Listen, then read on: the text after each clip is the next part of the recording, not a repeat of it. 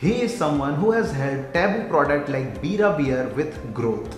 Also worked with brands like Licious and currently working with the big brand like ITC. He has done his MBA from one of the biggest college in India and that is IIM Ahmedabad. So we tried answering one of the biggest question in one of the marketeers and that is is MBA important for becoming a marketing professional? And on the top of that, we also discussed how FMCG brands can grow online as well as offline. So sit back, relax, close all the tabs and enjoy this value pack episode.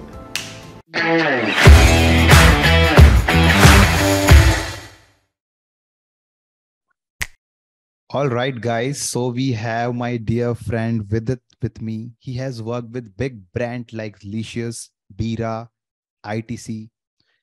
So I'm really excited for this particular podcast because I have been waiting for this since long. So Vidit, first of all, welcome to the podcast. Thank you, Vedant. I know this has been long due, but uh, pleasure to be here and let's get started. Yeah, yeah. So like straight away jumping uh, to the question and starting with the base layer like let's set up the base layer so we would like to like know about your journey and like behind the story behind it like why exactly you started and came into this world of brand marketing growth. So what do you. So uh, i did my undergrad from du after that i had a few internships but mm-hmm. i went for my master's straight away. Like there was no work experience masters i feel uh, i did my mba and that te- taught me a lot actually. So i interned at a consulting company. Okay. and i think that made me realize that i just want to do marketing. So those three months was one time that I f- felt that i want to work for a brand i want to work on the consumer side of things. And then post my college i joined bira in 2018 so it's been about uh, five years and four and a half five years since i've started working and uh, Bira was my first company. I worked for three years in Bira, one year at Licious, and it's been one year at ITC. So I feel post MBA, everyone has uh, like you join MNCs first, and then after two three years you shift to startups. I think yeah, I've yeah. had a very very opposite journey to that. I worked in two startups before, and now working in a large company such as ITC. But uh, personally, being a consumer myself, I think uh, I've loved interacting with consumer brands. So Bira was purely offline business, nothing online. Licious was completely opposite. It was just D2C, just online, nothing offline. And ITC is a great mix of both, in which uh, it's both offline and online. Like I am the brand manager in the biscuits in the Sunfeast team. So yeah. uh, a significant part of my business also comes from online, be it e-com, be it quick commerce, and obviously you have your general trade channel. So I feel uh, I've had a good experience so far, offline, online, now mix, and I'm just looking forward to keep learning more. Interesting. So, like, uh, like, like B2C part interests you, or like you are planning to shift to B2B in the future as well? No, I think uh, I'd like to continue with B2C, be B2C or D2C. I think uh, both do not have too much different among themselves. Yeah. That difference is slowly getting narrowed down with many D2C companies also going offline or the phygital model as it's called physical plus digital.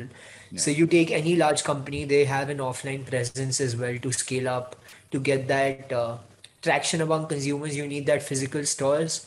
It may sound expensive, but yeah, I feel uh, there's not a lot of difference between B2C and D2C. So I've been more interested in the consumer facing part. No, no offense to the B2B or whosoever works in that field. That's a different ball game altogether. But so far, I've liked my journey of B2C and I feel there's still so much to learn, work in different industries, work for new brands. And each brand is so unique in themselves. So I think I'll stick yeah, to consumer totally. goods. Nice. And like in in the in these sectors you have worked with taboo products like bira is one of them like it's into alcohol and licious is into meat.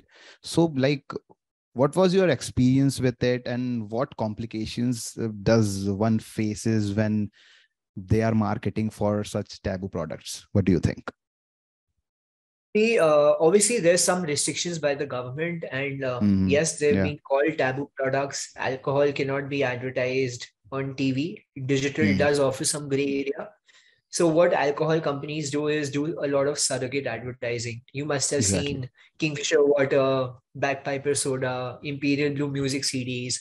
We all know these surrogates are not their core business, or Carlsberg glasses. So a lot of celebrities are seen A Royal Ch- Challenger Bangalore, Bang, um, Royal Challenger uh, music series as well. Yeah. So yeah. I feel the traditional medium of surrogate was always club soda, water, music CDs, and in all these different surrogates also, Imperial Blues, Men Will Be Men Mhm. CDs just stood out, and Yeah, stood it out. has stood out till date. Like even till date, you ask anyone, everyone will relate to the Men Will Be Men across genders, not just male. Across even genders. females, it resonates a lot. But you know mu- music cd is not their core business. Similarly for bira obviously we had our own merchandise store we had our own glasses etc but uh, i feel surrogate advertising needs to be smarter as well. It just cannot be a traditional uh, whatever yeah kuch. You need the consumer to see you and actually see those products when they are actually purchasing alcohol or ordering alcohol in a pub or a bar. so in alcohol, Hmm. I feel uh, surrogate advertising, people will innovate, it'll get better. And partnerships is one key. Like you try to associate yourself with some music events, with some sport events, with some outdoor activities, with some artists.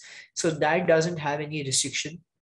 It's Mm. still called a taboo product, but because each state is so different in its own, like e- किसी में legal drinking age is 21, so किसी में 18, किसी में 25. so alcohol is a diverse industry. You cannot obviously advertise alcohol in TV. Yeah. It's not recommended as well.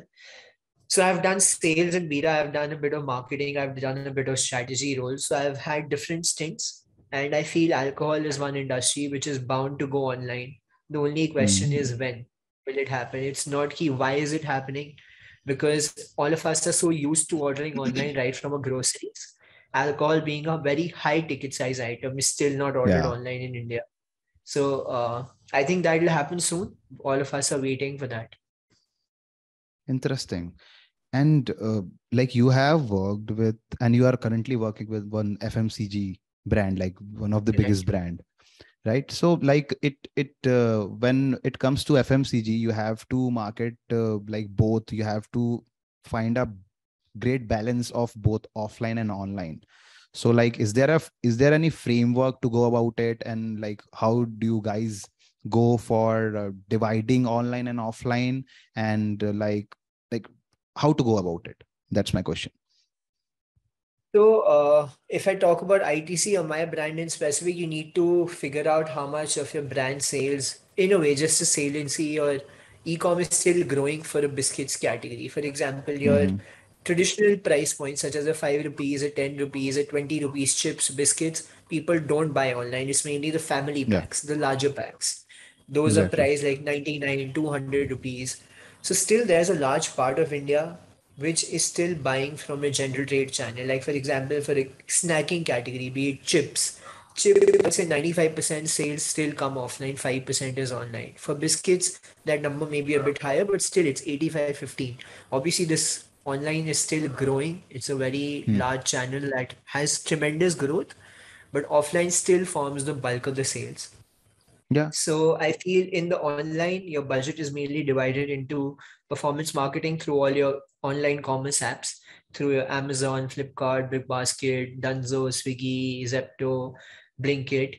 And then you have another part which is on your digital activities, which are mainly brand led. Like through digital hmm. activities, you do not expect any sales. Obviously, you do have you would want people to purchase, but a lot of brand building activities are not tied up to an ROI because the instant gain doesn't happen. For example, you see a TV ad, you need to see it at least four or five times. That brand needs to continuously show it to you and it needs to build that connect. And finally, probably one, two years down the line, you will build some brand love or you will build some brand mm. affinity so mm. usually in brand building activities be it on digital be it on tv you do not see instant sales lift mm. you hmm. might see instant sales lift for example if i'm doing a promotion a price off in a general trade in offline channel ki 25 ka price card ki 20 kar diya you will see some sales lift yeah that yeah. is there but that that will not help build the brand but Hmm. all your other brand building activities are not linked with a specific ROI.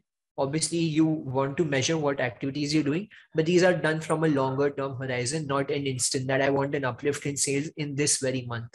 So that doesn't Hmm. happen. Ecom, all your search campaigns, keyword targeting, that is related to bottom of the funnel, in which because the user has intent, he's typing that keyword and then you show him your products. So that can be tied up to sales, but that's just bottom of the funnel. Even in ecom, when you talk about top of the funnel activities, such as your Hmm. display ads, any other ads, those aren't particularly related to getting instant sales. It's more about building affinity towards the brand and the product. Hmm. And I think like in in such products, uh, distribution also matters. Like you have to first be on the store and you have to be on the great row. Like you have to be upfront. Correct तो वेदांत जिसमें एक चीज होती है FMCG में बोलते हैं out of sight out of mind if your product is not Yeah. Visible it's gone It's gone. so distribution is distribution is the key uh, if Key. you want to scale a brand it's not volume कि एक outlet में अगर मैं सौ पेटी bill कर देता हूँ उससे फ़र्क नहीं पड़ेगा। मुझे सौ आउटलेट में एक एक पेटी बिल करना पड़ेगा उससे ज़्यादा फ़र्क हम्म, पड़ेगा।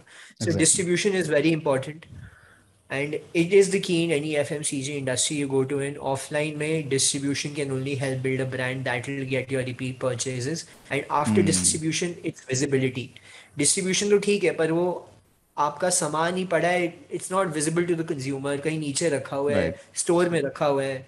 So consumer will not take it. So then after distribution comes visibility. Hmm. Yeah, makes sense. Totally. Totally. Yeah. So like, uh, let's uh, shift the gear. And uh, I wanted to know, like you have, uh, like you have great educational background, like you have uh, like educated from top universities of India. So like, I wanted to know, like you have done MBA and uh, like, my straight away question is, like, is MBA important for coming into the marketing field? And what do you think about it? And how it helped you to scale up in your career from graduating from top university? I don't think MBA is important to work in the marketing field, not at all. Obviously, doing an MBA can give you a sudden lift. It is a platform. As, for example, like you said, top universities, I think these top universities are just brands in themselves. So your Yeah. name gets associated with that brand. There's a certain imagery that automatically builds. Even if you don't meet that person, you just build that imagery. But I think that is just a very small part. Someone who has Hmm. not done an MBA, not from a top college, I, I would still say he or she are very well learned, very well creative, more innovative than me or anyone who's done MBAs from the best colleges. So I think college can only play some part. Apart from that, if you see the newer fields in marketing, be it performance, be it digital, I think more and more people are coming up who had never even studied, who had not done proper MBA, and they properly taught. Like a lot of MBAs, a lot of senior folks, senior management people are still not very tech savvy, do not know about digital that much, do not know about performance. And it's these younger folks who have just passed out, probably in their 12th undergrad, who know performance marketing so well. Obviously, Hmm. ma- marketing is one field. You Yeah. actually get better with age because you see what's working. You come across so many different campaigns. You see what works in which industry. Obviously, no one becomes an expert at it. I would say everyone is still learning. But uh, i- with experience, you do have some sense of what will work, some what will not work. So I don't think MBA is important. I think once you get in the field, you get the required opportunities. That is important, and then it's Mhm. all up to how you, how you how how you execute that. So I don't think a degree helps you. Obviously, it sets up a platform and helps you build your brand, but that is it. Hmm. And like uh, to point of to point out few things, like how MBA helped you in your career, like in uh, like building strategy, building uh, growth strategy, building brand. so how exactly it helped you like that uh, theory that education system how exactly it helped you theory is one part but uh, at least in our mba college it was all about case studies there was no theory so mm-hmm. when you see so many case studies and then you actually try and relate that with what you want with some mm-hmm. of the mm. frameworks some of the strategies and then you realize all the stalwarts or each industry leader is doing what so I believe those are more practical examples. Theory alone mm. cannot teach you. And then you learn on the job. Where I feel I still feel 90 95% learning happens on the job. And before marketing, anyone who's interested, I would suggest you need to do sales first because hmm. sales mm. actually you need to know what's happening Good. on the ground. Good input. People say that you should have your ear to the ground, and that can only happen once you've done sales. Done because sales. just sitting in a corporate office in a very AC room giving out some strategy let's do this if you don't know what will work on ground i think that's that's a very superficial talk you should know what your sales team can do what the retailers do what consumers mm. do so there's some consumer work that you still do in marketing but i feel because of your daily day-to-day work you're so disconnected with what's happening on ground what's happening with your sales team your distributors your retailers that you just think my strategy will work and just forgetting what will happen on the ground so i think you need to do sales first, then move to a marketing role because then you hmm. understand what will happen totally on ground. Agree. Yeah. Totally agree. Totally agree. And like, by the way, guys, uh, like Vidit has graduated from IIM Ahmedabad. That's why I asked this question particularly. So yeah, moving ahead, uh, like I wanted to know like what do you think about upskilling? Like you have already done your graduation from top university and you are in good position. You have years of experience. So what do you think uh, why upskilling is important or is it important or not? And how one should go about it? Like i we have many professionals who are watching this.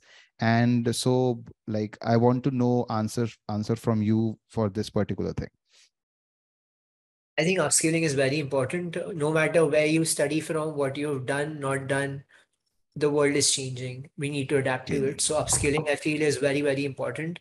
You need to embrace that change, and it can only happen personally. Obviously, all these companies may have some learning and development budget. They'll maybe get you to some workshop and make you attend some sessions, give you some online courses.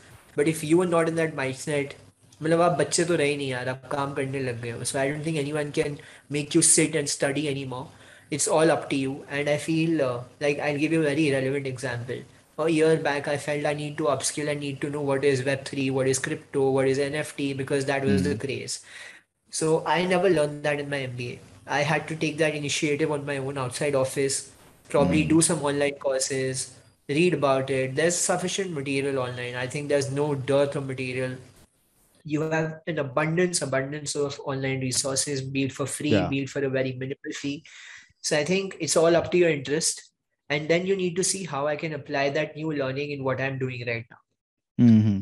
so it is very important people like a very relevant topic right now chat gpt everyone's talking about open ai will it reduce human will it remove content creators artists writers so I don't think it'll replace anyone. Human touch is very important. That human judgment, no software, no robot, no AI can do it. But it's time we utilize that with advantage. Mm. Combine both of them together because we can combine it. AI cannot. AI cannot have that human judgment, but humans can take their judgment as well as combine the expertise of a software and combine both and need to understand that it will exist. You need to adapt to it and take out the best parts of it in your job. Yeah, totally. Like I was about to ask this question and you just explained it very well. Like uh and uh, in like we run our agency and like these marketing tools like AI marketing tools are really helping us to uh, speed up our process and at the same time uh, give uh, better results to our client because we can uh, predict things right?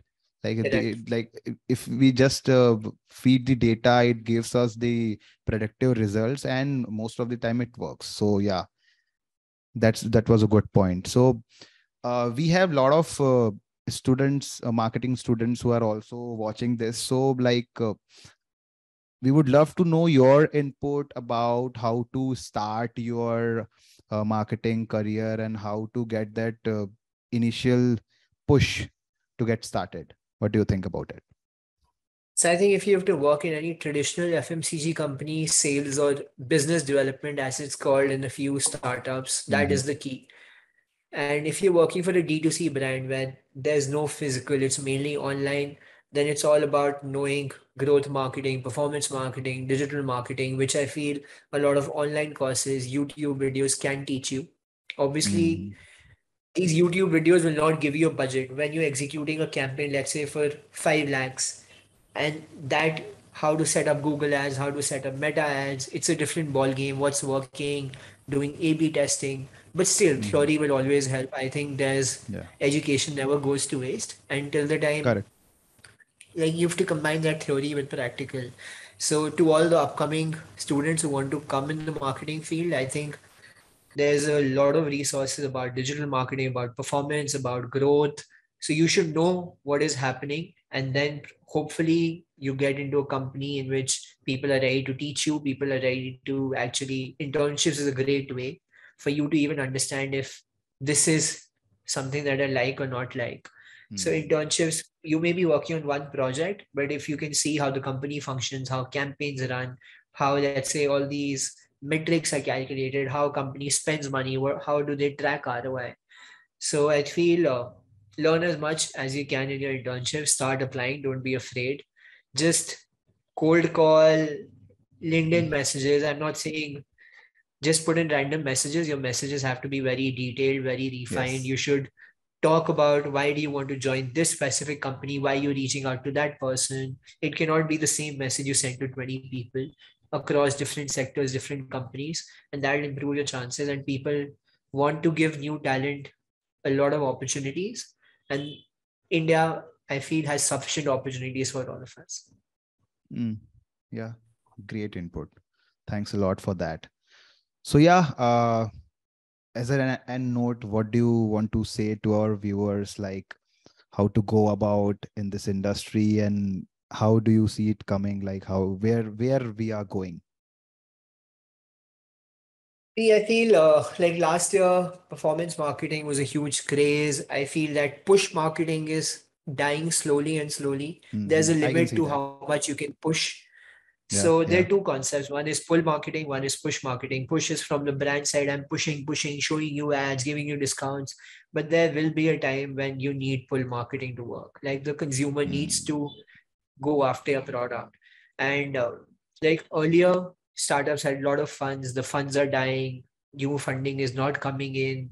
The people who have funding, their customer acquisition cost is through the roof. Uh, ROAS is dying. ROAS is return on ad spend. That is declining. So it's time all of us realize that you can push to a certain limit Mm, people need to resonate with that content. Obviously, there's no framework to create virality. We don't even know what goes viral these days. Yeah. So uh, obviously, you can keep trying, and you should know what your consumer wants. What you what problem are you trying to solve for that consumer? Where does your product fit in his day-to-day life, in his Mm, consumer journey? How does are you selling a product? Are you selling a lifestyle? So I think that is one trend which is slowly dying. Push marketing.